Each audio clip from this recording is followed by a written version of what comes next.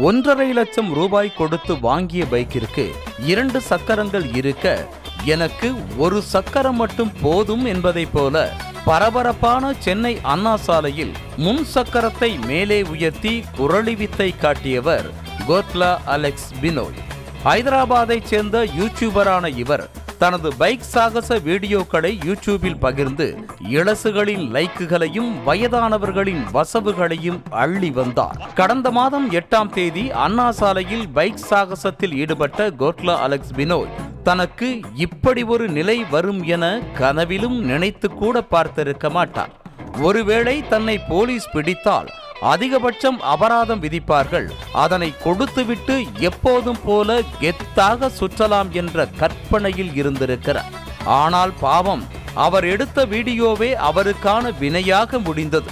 பாண்டிபசார் போக்குவரத்து போலீசார் அவர் மீது ஆறு பிரிவுகளில் வழக்கு பதிவு செய்து கைது செய்ய தயாராக இருந்தனர். இதனையறிந்து சென்னை உயர்நீதிமன்றத்தில் முன்ஜாமீன் மனு தாக்கல் செய்த வினோய்க்கு நீதிபதி நிபந்தனையோடு கூடிய நூதன தண்டனையை வழங்கினார்.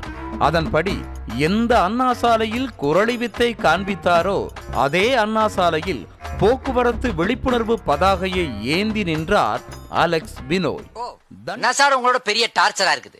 நான் பாட்டுக்கு ஜாலியா தெரிஞ்சுக்கிட்டு இருந்தேன். என்ன போய் ஆயிட்டின்னு சொல்லி கூட்டு வந்துகிட்டு எப்படி இருந்தனா இப்படி ஆயிட்டு திஸ் வாட் ஐ வாண்ட் பகர் எப்படி இருந்தனா? இப்படி ஆயிட்டேன். எப்படி இருந்தனா இப்படி ஆயிட்டு. தண்டனையின் அடுத்த கட்டமாக செவ்வாய்க்கிழமை சென்னை ராஜீவ்காந்தி அரசு மருத்துவமனையின் விபத்து சிகிச்சை பிரிவில் வாஜ்பாயாக வேலை பார்க்க அவருக்கு உத்தரவிடப்பட்டது.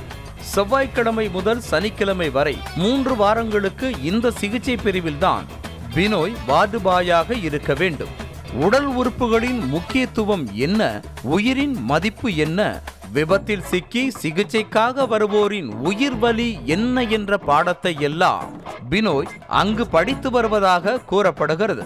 நியூஸ் தமிழ் செய்திகளுக்காக செய்தியாளர் வினோத் குமாருடன் சுந்தரமூர்த்தி.